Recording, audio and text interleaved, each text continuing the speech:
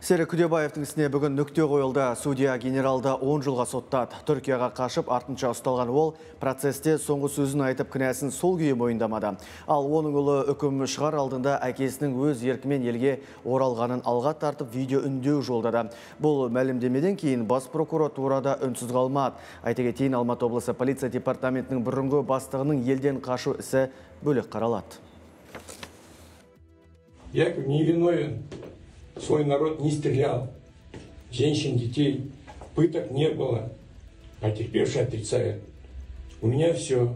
Бұл Серік Күдебаевтың соттағы соңғы сөзі. Қаңтарда халыққа қарсы оқ атпадым, ешкімді азаптамадым деп қысқа қайырды. Кінәсізбін дей тұра ауруын сылтау қып, наурызда елден қашқанын жұрт естіді. Ешкімнің уысына түспей, Түркиядан бірақ шықты. Оның қашуы мен елге жеткізілуі Қазақстандағы екі саяси оқиғамен тұспа тұс келді. Ел сайлау деп жанталасып жатқанда Күдебаев та сытылып шығудың амал әрекетін жасаған сыңайлы. Тіпті шекара қызметі аңғармадық тау тасы жағалап қашқан болар деп болжады. Ақыры бір ай, бір аптадан кейін бас прокурор ұсталғанын хабарлады. Осы кезде Қазақстан Халық Ассамблеясының жиыны болып жатқан еді. Алайда Күдебаевтың ұлы мұны жоққа шығарып, әкесінің өз еркімен елге оралғанын алға тартты.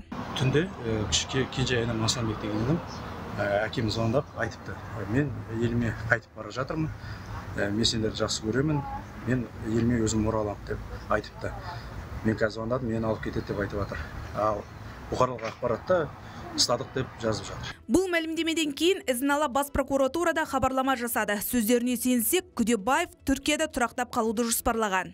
Күдебаев өз бетімен отанына қайтуды ойламаған өйткені ол барған елінде тұруға рұқсат сұраған кейін шетелдік әріптестердің көмегімен Күдебаев Түркия аумағында ұсталды және Қазақстанға жеткізілді Елге әкеле сала судья созбаққа салмай Күдебаевқа қатысты үкім шығарды. Генерал-майор 10 жылға сотталды. Кудебаева Серика Мурзаковича признать виновным в совершении... Серік Күдебаев қылмыстық кодекстің 146 бабы екінші тармағы, бірінші тармақшасы азаптау және 362 бабы төртінші тармағы билікті немесе лауазымдық өкілеттігін асыра пайдалану баптары бойынша кінәлі деп танылып 10 жылға сотталсын. Сондай-ақ оған құқық қорғау және мемлекеттік органдарда қандай да бір лауазым иеленуге 10 жылға тыйым салынсын. Сонымен қатар судья Тоқаевқа полицияның генерал-майоры атағынан мемлекеттік наградаларынан айыру туралы ұсыныс енгізді. Сот шешімі бойынша ол жазасын қауіпсіздігі орташа колонияда өтейді.